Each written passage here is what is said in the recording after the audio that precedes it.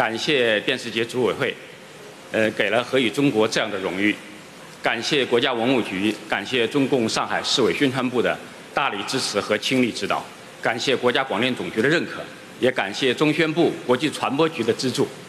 何以中国是上海广播电视台打造文明看源看东方文化 IP 的一部分，也是上海建设习近平文化思想最佳实践地的重要出品。从开播之后观众的热捧，到走进校园成为历史教学的影像教材。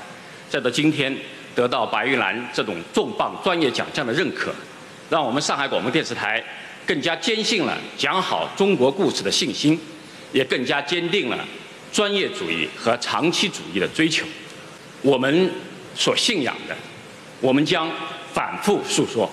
再次感谢白玉兰，荣誉属于呕心沥血的主创团队，荣誉属于伟大灿烂、生生不息的中华文明。谢谢。下面请我们的总导演甘超发表。谢谢宋台，谢谢上海电视节和评委会将这个非常重要的荣誉给到何以中国。呃，上一次我站在白玉兰的舞台上是十六年前了。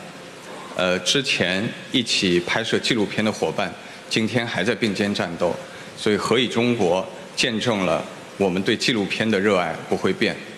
感谢我们团队里的每一位成员。感谢一直默默支撑着我们的家人，感谢国家文物局、上海广播电视台，感谢上海市委宣传部以及各位领导对我们的信任和支持。没有你们，不会有何以中国。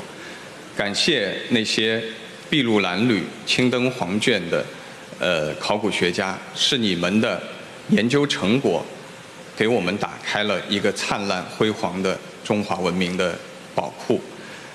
呃，最后呢，我想将这个白玉兰奖杯献给我们已故的著名的考古学家严文明先生。中华文明必将会像重瓣花朵一样绽放千秋。谢谢。